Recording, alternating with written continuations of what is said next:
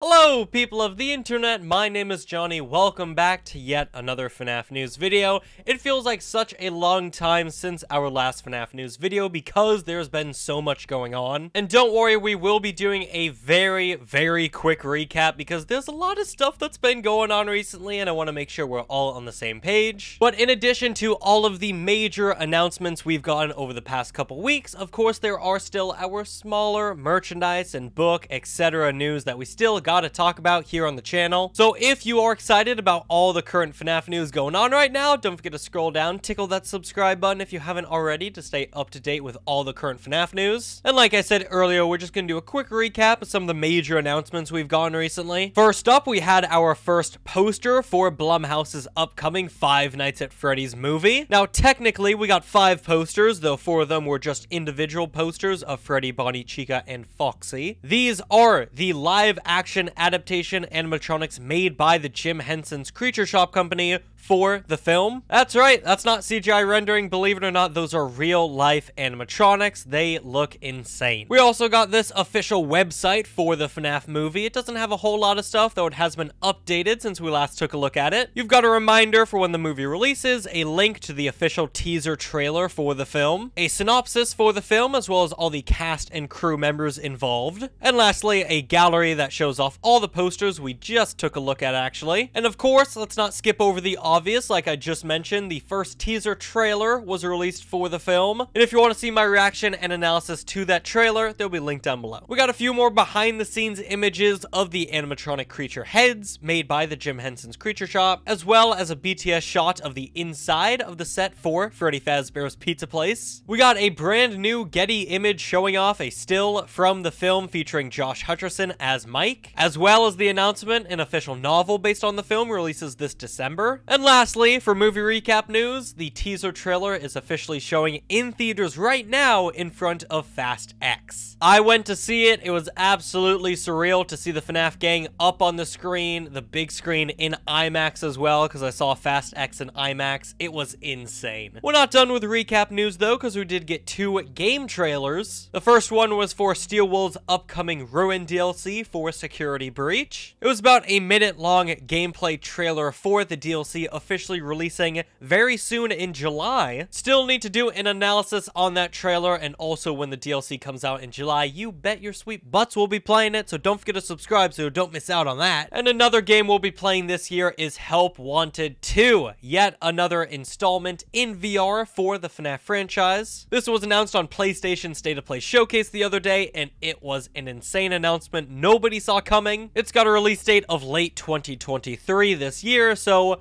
just even more stuff that fans are absolutely eating up. But now that the recap news is out of the way, let's move on to some brand new book news. Starting off, we've been getting a few previews, mainly audio previews for the upcoming Tales from the Pizzaplex number 7 Tiger Rock, and with these previews comes the reveal for the other stories involved with the book, and the three stories involved are Tiger Rock, the Monty Within, apparently the Manchi Within was unfortunately a typo, as funny as it sounds, and finally Bleeding Heart you can see the descriptions for each of the stories on screen right now. The book is set to release on July 4th this year. In other book news, we got the official cover reveal for the fourth entry in the Fazbear Frights graphic novel series. And this is what it looks like. My gosh, I have no clue who this is supposed to be because it certainly doesn't look like Tagalong Freddy. Though with this book containing the stories The Breaking Wheel, The Cliffs, and Sergio's Lucky Day, it kind of has to be Tagalong Freddy. Though he is looking quite a bit different from what he looked like on the cover of the Cliffs book. But honestly,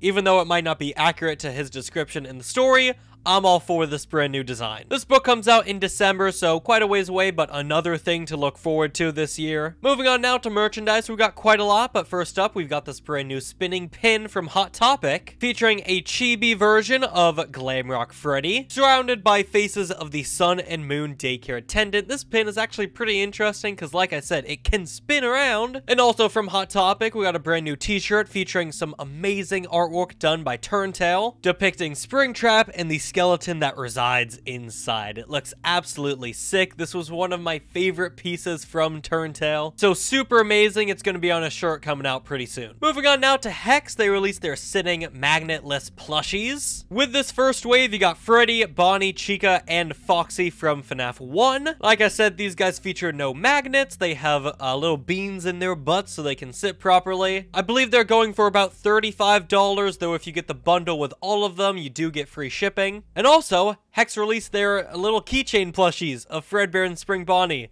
I still love these guys to death. They're absolutely adorable. And I believe these guys are going for about $15. Moving on now to Youtooz, their brand new plushie wave of Ennard, Mangle, Helpy, uh, Glitchtrap, and Baby has officially sold out. However, by the time this video is being posted, there still should be uh, about four or so more days to get Foxy Fusion Z Gamer Edition. But moving on now to the future of U2, some of their upcoming waves to celebrate Help Wanted 2's announcement, they released another teaser of Shadow Mangle. It appears to be another illustration of what Shadow Mangle is going to look like, but it is a brand new look at the upcoming figure, so there you go. Shadow Mangle will be releasing alongside uh, Grim Foxy, Glitchtrap, and Dreadbear figures later on this year. And actually, speaking of their Dreadbear figure, you may know popular YouTuber merchandise review Springs, actually got sent a prototype of the upcoming Dreadbear figure. Here are a few images they supplied. In my opinion, they did a pretty fantastic job on this Dreadbear figure. Like his pose, the colors are a bit wonky, but Springtrap was also like that, so I'm not too surprised, I guess. Something strange I did notice were the quotes they used on the boxes. They didn't really connect back to Dreadbear. And I'm not sure if I'm allowed to leak this, but I did speak to Youtooz and I gave them some better references for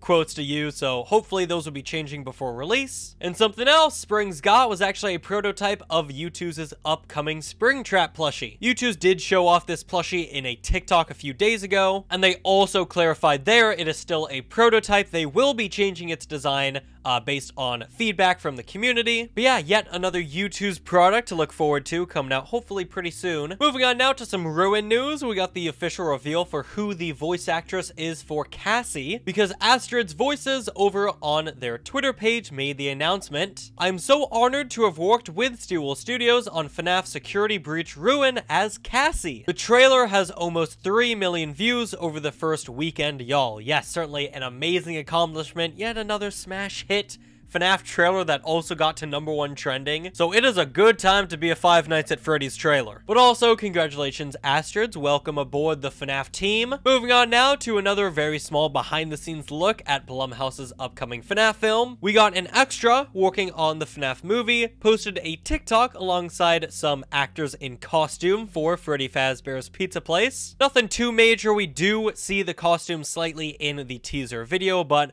I just wanted to show off this more detailed look at the outfits. Honestly, these outfits look fantastic. I love the buttons and also the, the suspenders with the black and white checkerboard pattern. That's so awesome, man. And now finally for FNAF news, let's wrap this all up with some Game Jolt announcements. First up, we got the official Five Nights at Candy's and POPGOES art contest, where if you participate by submitting your very own fan art of POPGOES or Candy's, you get a chance of winning a whole bunch of FNAF merchandise like mystery minis, posters, plushies, t-shirts, shirts. If you're interested at all if you're a fan art creator, I'll leave a link down to Kane's post in the description for more details. Lastly, we got the crazy announcement that Game Jolt will be hosting an interview with Matthew Lillard, who's playing, of course, the purple guy, William Afton, in the FNAF movie. This is happening on Friday, June 9th at 11 a.m. PT. Of course, if there's any interesting answers from my boy Matthew, I'll be sure to let you guys know. But that is going to do it for this FNAF news video. Hopefully you all enjoyed. There's a whole lot of stuff going on with FNAF right now. Earlier this month, I was putting out like no videos, but now I look at my video schedule and it's like non-stop topics I gotta talk about with Ruin, the movie,